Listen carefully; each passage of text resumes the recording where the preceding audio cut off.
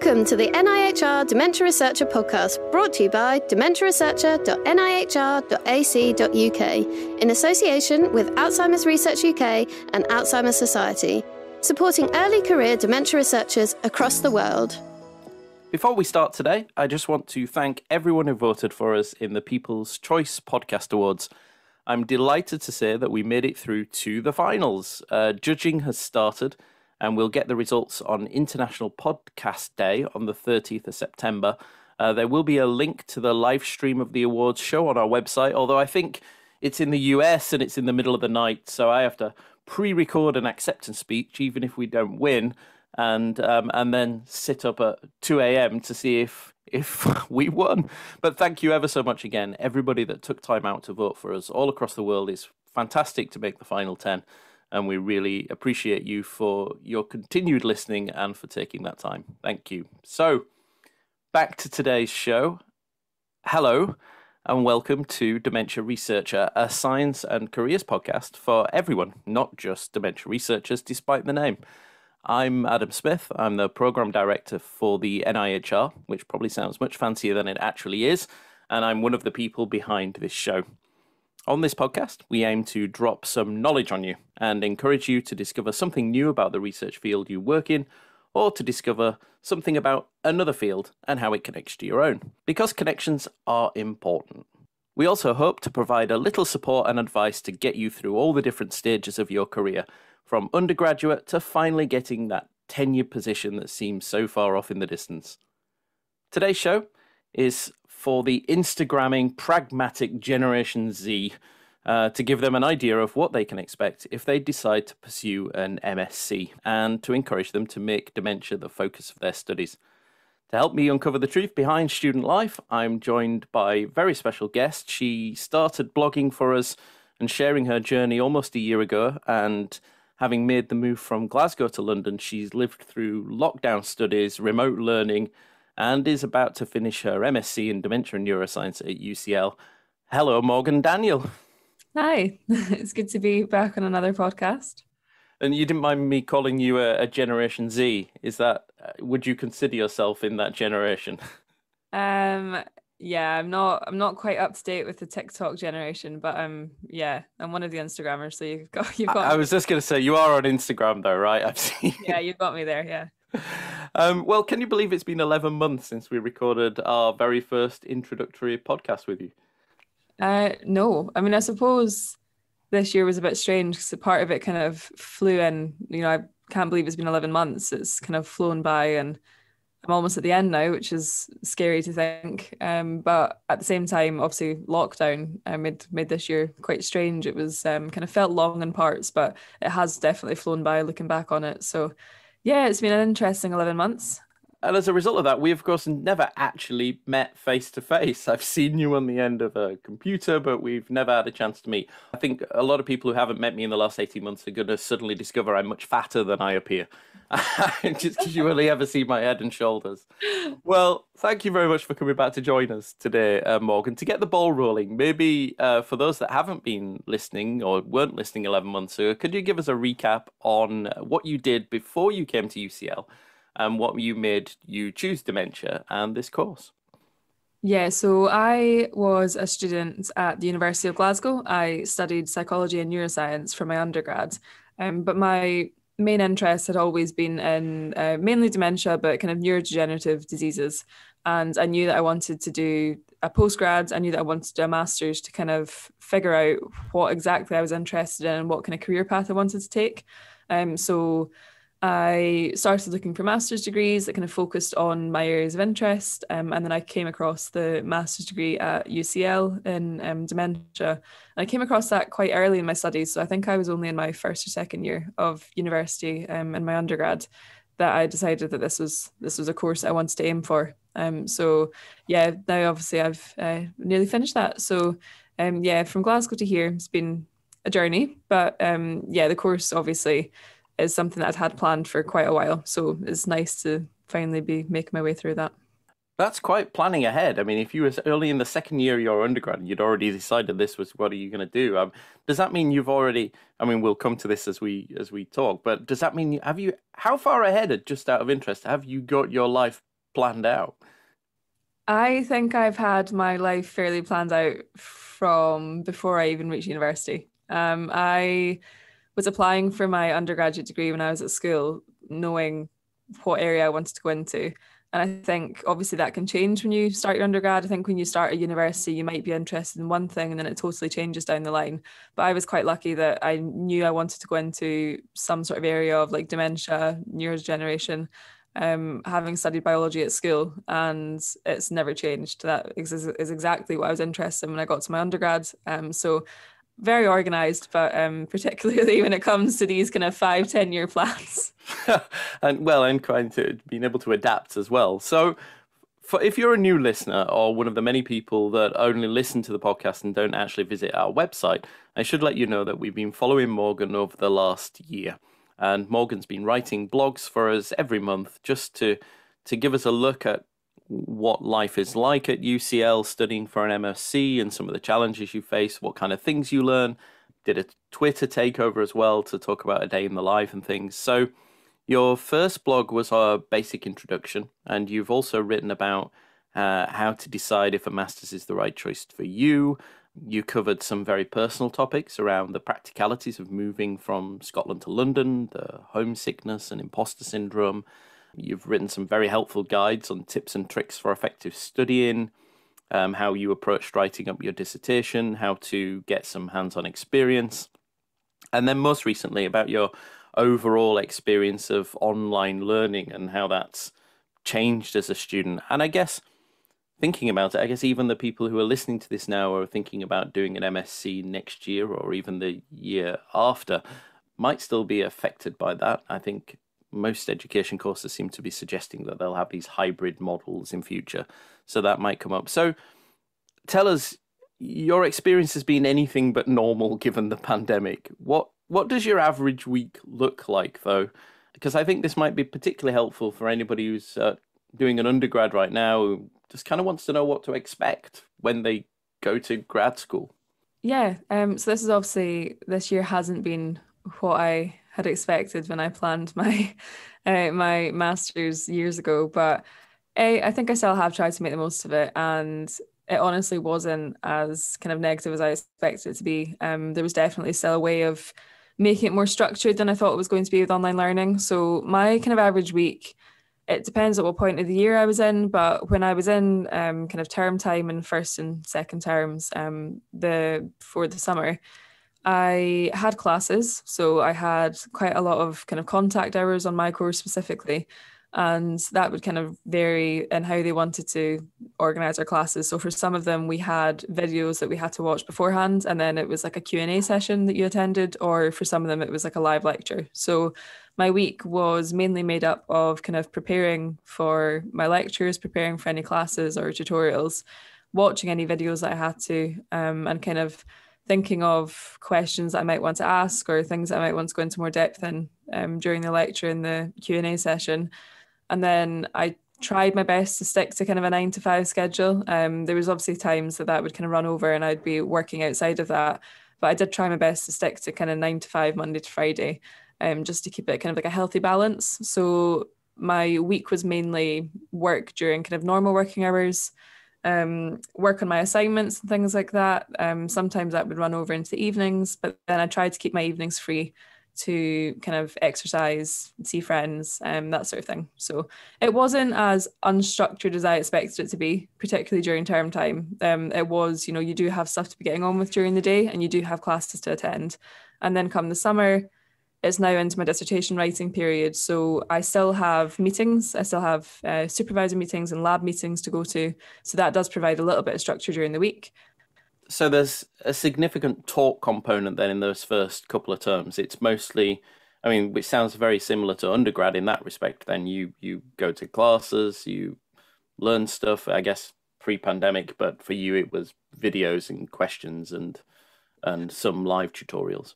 Yeah, I think pre-pandemic it was all um, on campus, mainly around kind of Queen Square. So you were in live lectures, but um, I, I mean, honestly, there isn't that much difference between being in person for live lectures to being online for live lectures at the moment.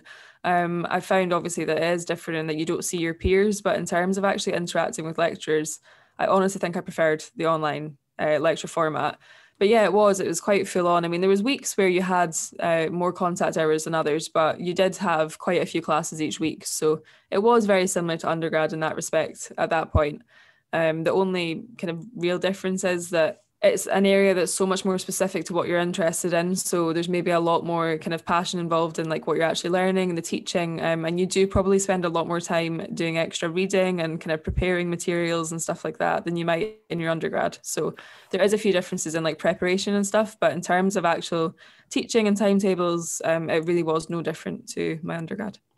Uh, yeah, I get that. So it's, it's kind of that more deep dive specifically into the topic. Great. And I guess, though, it must have been slightly frustrating. I mean, I know you said you liked the online bit. I'm sure that wasn't just because you could wear pajamas all day, but surely you then you could have been anywhere, right? I mean, you've been on camp, right, adjacent to campus, in but could you have been just at home doing this? Yeah, there was people learning from all over the world. Um, there was people learning from America. There was people learning from different parts of Asia. Like it was quite strange. You know, you had classmates that were staying up late at night to kind of listen in, or your classmates that were getting up really early. So it was really strange, and that was something that I did kind of struggle with at one point during the year. Was you know, I'm I'm living here, but I really could be living at home. Um, I could be doing this from anywhere. I could be choosing to live somewhere else. It was it was quite a difficult thing during lockdown, especially. So. I think that's one of the benefits for a lot of people of online learning was that they could live at home or they could live wherever they wanted to, um, whether it's with you know family, with friends. Um, but yeah, I was I was based very close to campus all year, um, and unfortunately didn't really get to see that much of campus. But um, yeah, it was it comes with flexibility, um, but you do you do kind of miss, I suppose, the feeling of that you know I actually go to this university or I actually go to UCL. There was kind of you miss that feeling sometimes that um, when you weren't on campus. Yeah, I I can understand that. I mean, it sounds like you had the, I'm going to say the worst of both worlds because it's not like you were on campus, so you got to have the social scene that goes with being on campus. Um, and you also didn't get to just be at home and have, you know, meals cooked for you and your friends nearby uh, instead. So that must have been quite. Did was that quite isolating? Was it? I mean, how have you coped with that? Yeah, I think it kind of varied a little bit throughout the year. Um, I'm quite close with my family, so it was a really difficult decision to make to move to London because I knew that there was the potential that I could do it at home, um, and it might be a little bit more difficult, or I might miss out on a few things. But I knew that was an option. Um, it was nice being on campus for when there was that kind of the, a few opportunities to be there. Um, so we did have some in-person classes. It was um, and like journal clubs and things like that at the start of the year before Christmas, before um, COVID really kind of hit, a second peak.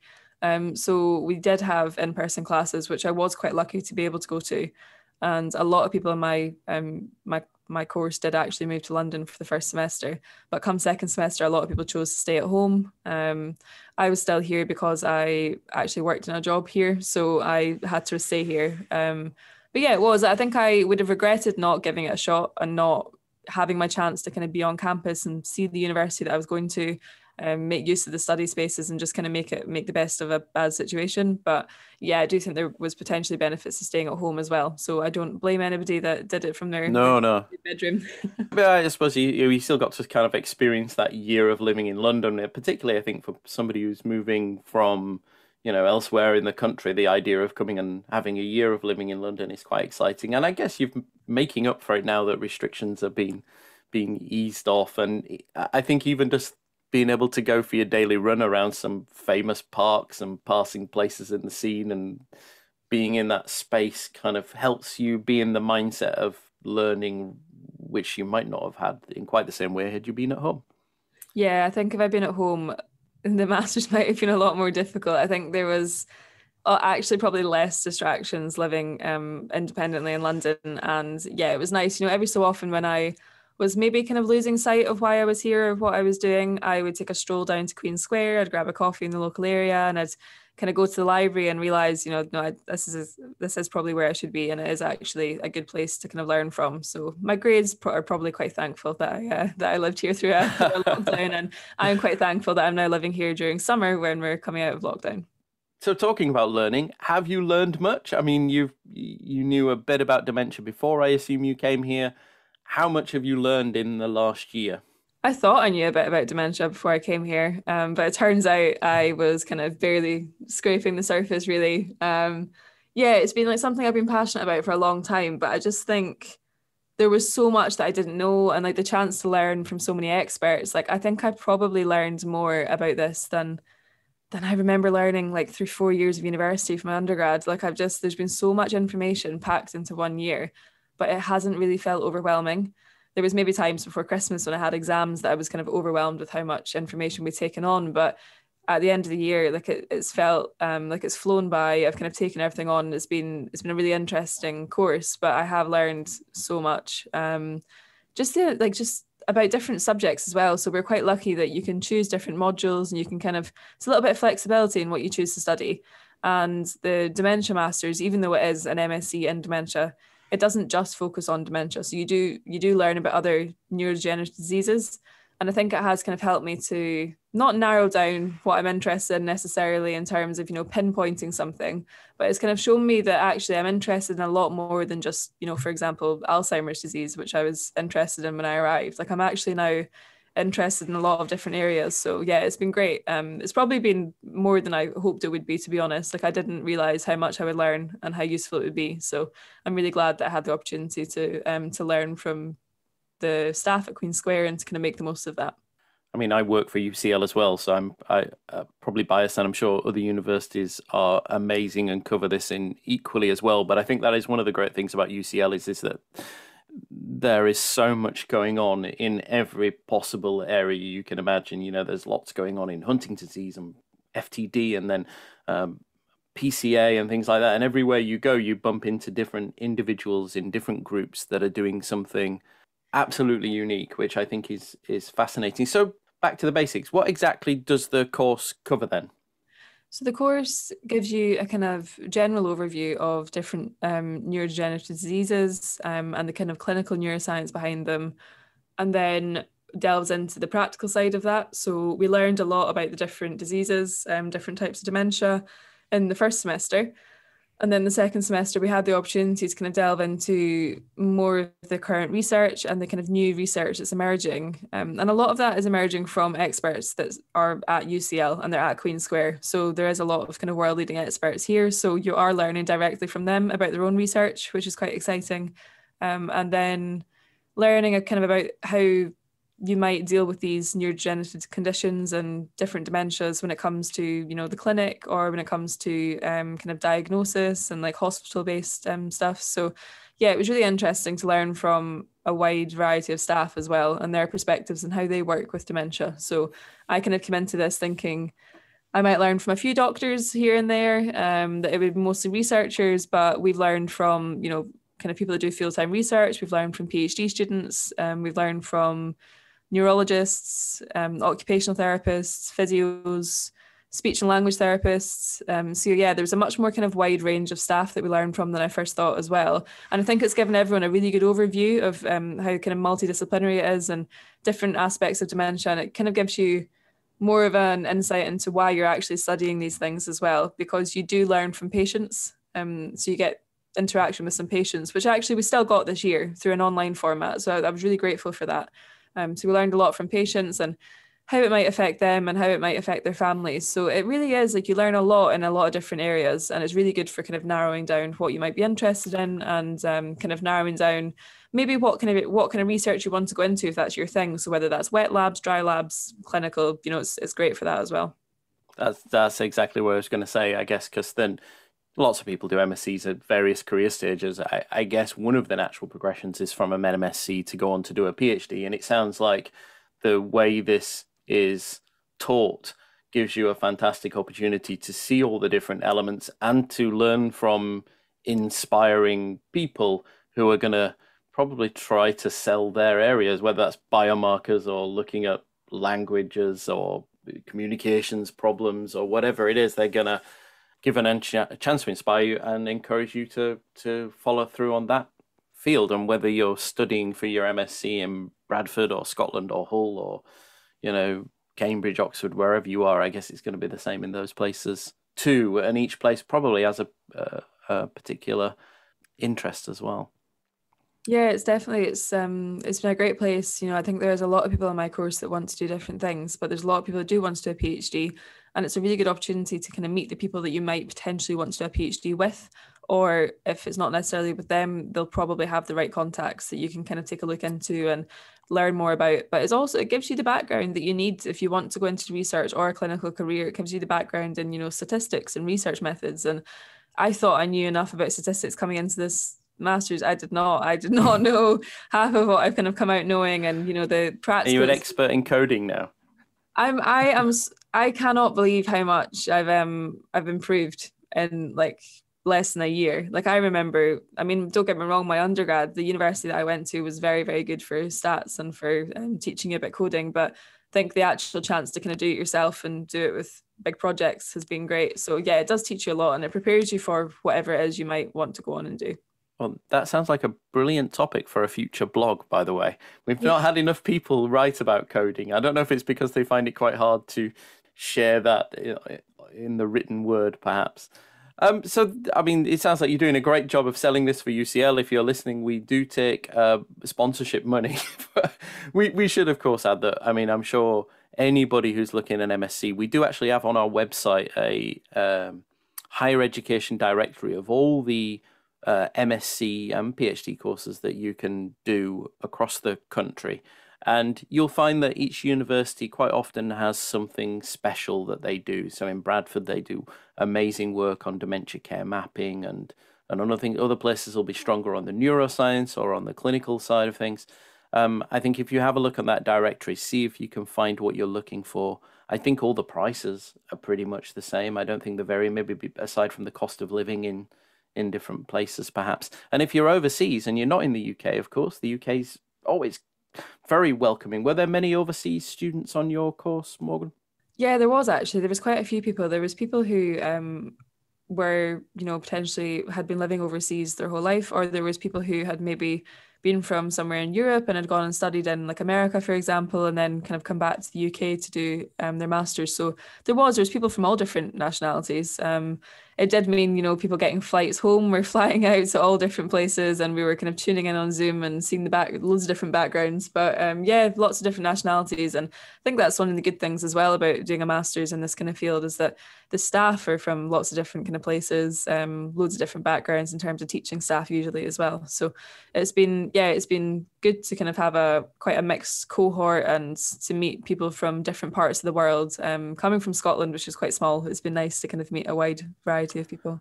Great. So if you're overseas, uh, come and do a year of full time masters in the UK, and you can base yourself in amazing Edinburgh or Glasgow. You could be over in Cambridge, Oxford, up in Manchester, or down in Exeter or Southampton. All of these places are doing uh, masters courses um, and of course at UCL as well. So do have a look at that directory. I'm sure there'd be something for you and give you a, a year of living here, and, and maybe you'd be persuaded to stay further. So, of course, hopefully it's not all been work. Have you managed to socialize a little bit at least? I, I've, I mean, I should. I've seen, of course, your Instagram pictures. It looks like you spend a lot of time sitting in parks, and there might have been a, a little bit of alcohol.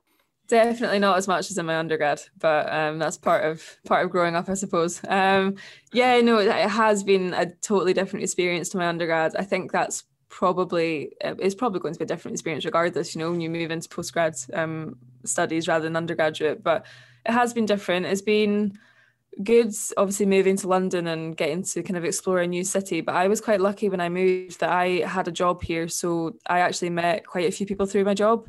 Um, if it hadn't been for that, it might have been more difficult living in London during lockdown and kind of moving, not knowing anyone.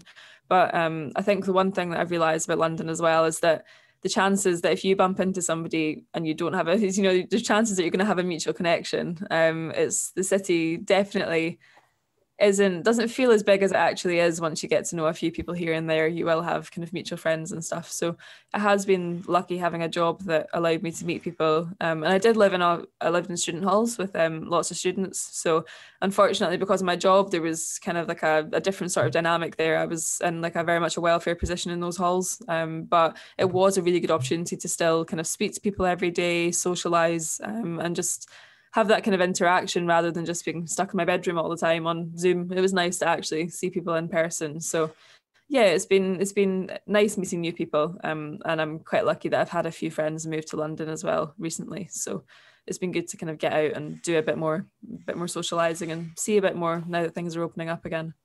Well, so so you're incredibly hardworking. I mean, so you had the Halls job, you've been studying, and I know recently you've been doing, you've been working in the NHS as well. Doing yeah. is that as a care assistant? Yeah, I've been a healthcare assistant, um, or sometimes called a nursing assistant. Um, I think a lot of people know it back in the day as an auxiliary. Um, yeah, so I've had a few jobs. I've done my master's, obviously, um, and then I've worked as a resident advisor in student halls, which is sometimes known as a living support assistant.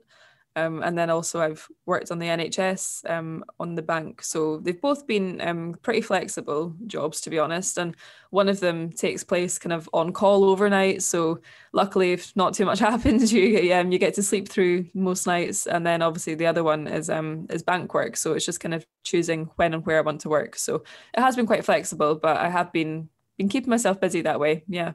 So has all this prepared you for for the next step? What what is what does come next? It sounds like you're well prepared, whatever that is. Yeah. So uh, during my kind of masters at the start, I was really still figuring out what exactly I wanted to do. So I knew that I wanted to continue with a career in research in some way, but I wasn't sure if I wanted to combine that with a more clinical career. So I went in thinking I would just do a PhD um, and I would just do full time research. But I kind of came to the conclusion, probably kind of a third of the way through the through the year, that I really wanted to do neuropsychology. Having learned from a lot of neuropsychologists, having um, that been like a big part of the chunk of my course, um, I realized that that's what I wanted to do. But I was very reluctant to admit that to myself at first because to do that, you have to do clinical psychology, which is very, very competitive. So I was kind of putting it off for a while, um, but I came to the conclusion that I do want to try and do the doctorate in clinical psychology. So to do that, I've been kind of, um, you know, using part-time jobs as a way of gaining work experience at the same time. So obviously the benefit of having a part-time job and having some money come in, but also using that for my future work experience. So everything that I'm doing at the moment is kind of tailored towards gaining entry to the doctorate in clinical psychology um, and gaining a bit of experience working with patients and things like that. Before we started recording today, we were talking about the the things you had and hadn't gotten to do, and we, we were talking about you'd finally gotten the chance to go into a lab, which of course has been the big gap in the last year is not having the opportunity to spend time in the labs doing experiments using the kit and having exposure to that side of things. Do you think if you'd had that, that might have influenced you more? I mean, are you pushed towards this because you haven't actually had the lab work this year? And if you'd done more of that, you'd have gone, "Wow, I love this. This is amazing. I'm I'm awesome at pipetting, and I I like the stuff that whizzes. Can I do you think that would have been different? Uh, yeah, uh, it was actually so. It was actually today that I was in the lab for the first time, just before we recorded this podcast. So I got a chance to get into um, one of the kind of big labs um, and just below the Dementia Research Centre um, next to UCL. So it was exciting. It was like brand, you know, I mean, it's the fancy kind of brand new equipment and it's stuff that I'd never seen before, and it was great getting a chance to use it and you know that kind of feeling when something actually works as you're going through experiments like that's great. Um, but for me personally i i knew that i had always wanted to work with people. So i knew that i wanted to work with participants in research and that i was very much a kind of people person when it comes to research. So i didn't want to work in wet labs. Um, i'd known that for a long time but i think there is quite a lot of people in my course who do want to work in wet labs or they're considering that field and they did feel like they were missing out this year and not having labs. And um, especially because some of the dissertation topics that should have been lab kind of wet lab based had to be analyzing old data or kind of analyzing new data but it was just the analysis side of things. So it is a shame obviously that that year that this year we've we've not had the chance to get into uh, wet labs. But i do feel obviously quite lucky that they're doing what they can for us now that things are open again and that we've got less restrictions that we can get into labs yeah. for um, you know a couple of days and they're really focusing on building as many lab skills as they can in the wet labs in this couple of days so that at least we've got that to kind of put on the CV and to move into research. We we kind of have a better idea of what we're doing and finding a way around the different microscopes in a wet lab will be uh, will be great so. Uh, and you just have to hope that the any employers out there that are looking or hiring for their PhD students next time are going to be understanding of this and accept that you know people haven't had the same experience that they might have had over the course of the year we we touched on your project there. I, I don't want to spend too long on this, but so what what has your end of dissertation project been about? So I've been working in the Weil lab at UCL with Dr. Rimona Weil. Um, I've been looking at Parkinson's disease dementia. So, like I said, I came into my master's thinking that I was interested in Alzheimer's disease, and I've ended up kind of all over the place really with what I'm interested in. But um, I've been looking at Parkinson's disease dementia. So, whether or not we can predict the development of dementia in Parkinson's disease using online visual tests. So it's a long-running kind of longitudinal study. It um, takes place across four years, and it's quite a large study as well. It's across over 30 sites in the UK um, and it's been running now for a while. It's been running since 2016, 2017. Um, so I've kind of jumped onto the topic, um, jumped onto the research, and been helping with the kind of testing and stuff like that, and then um, analysing the data across a couple of years. So it's the Vision in Parkinson's Disease study that I've been working on, and that's there's a website for that if anybody wants to read more more into it. There's a website for it. Um, but yeah, it's been really interesting. It's been a great opportunity to work in a lab for the first time. So to attend lab meetings and stuff like that and learn from other people who are maybe researching slightly different areas of it, but kind of all around the same topic. Um, and yeah, I'm just finishing up my dissertation at the moment. So I've got a first draft and I'm just editing that. It'll be interesting to see the results across the four years. So once the longitudinal data has been collected, it'll be interesting to see any kind of changes across those four years. But um, it's a really interesting field and vision tests and Parkinson's is quite a new thing. It's quite novel research, and there's there's not much um, on the topic at the moment. So it's nice to be part of a really new area um, and kind of Rimona Weil's kind of leading leading the, the field almost in that kind of area at the moment. So it'll be really interesting to to see the results coming out of that. And does, does anything happen to the results of this? I mean, to your decision, does it? It's not just like, oh, we'll give them something to do, just to keep them busy and to finish off their course. I mean, the, this is research of worth. It's it's valuable. It'll be used. Will it? Does it get published, or does it add to a wider body of knowledge? I think that's a big difference between undergrad and master's level research. Is that my undergrad research? Don't get me wrong; it was really useful and it was it was really good research to have done. But I think when it comes to master's level research, you realise that you're actually contributing towards what a lab is researching or what somebody's researching and that is actually like of quite high significance the work that you're doing um so I think at the moment, because it's a longitudinal study and we're very much a kind of baseline area at the moment um, in the analysis, like there's not necessarily lots and lots of significant results, but um, that's not a bad thing. It's not a bad thing to kind of not have significant results at the moment, and it's still important to acknowledge those. So, yeah, depending on how well I do in my dissertation, we'll see about publication and things like that. You'll but, get a footnote in yeah, the, in the study. We'll see yeah. if I get a footnote somewhere. But um, yeah, no, I think it would be it would obviously be great to have my research published. I don't know if that if that's going to happen, but I know that some of the other research that's been going on with master's students in the lab this year is definitely um, of the kind of standard that should be published, and um, I think probably will be attempted. Um, that'll probably be submitted to different journals and stuff. Um, and yeah, it's been nice being part of a lab that there has been a lot of papers published recently. So it's kind of seeing the process of somebody writing up and somebody creating their figures and things like that and analyzing the data all the way to publication has been really interesting. So there's there is a shift, I think, when you get to master's level of how important your research is and the kind of standard that you're writing at. Oh, that's great because that means it's it's not just about you learning, but you are actually, as part of your masters, contributing to the the field, which is what people what people want. So, very last question for you looking back now, is there anything you wish you'd known beforehand that you didn't, or anything that you would have done differently?